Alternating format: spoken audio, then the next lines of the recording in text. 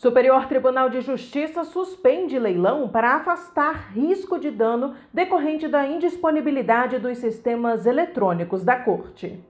O presidente do Superior Tribunal de Justiça, ministro Humberto Martins, suspendeu no dia 8 de novembro o leilão de bens de uma empresa de bebidas em recuperação judicial até a publicação de decisão do ministro Antônio Carlos Ferreira, relator do caso.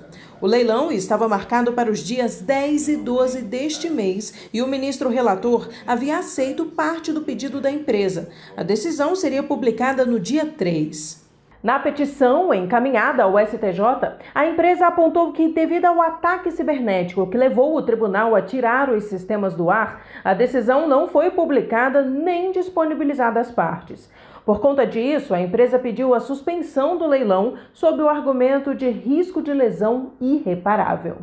Para o presidente do STJ, ministro Humberto Martins, a situação excepcional justifica o deferimento do pedido. O ministro presidente também citou jurisprudência da Corte no sentido de que o deferimento da recuperação judicial não suspende a execução fiscal, mas os atos de constrição e de alienação de bens sujeitos à recuperação submetem-se ao juízo universal, que nesse caso compete à 26ª Vara Cível de Recife, Pernambuco. You know.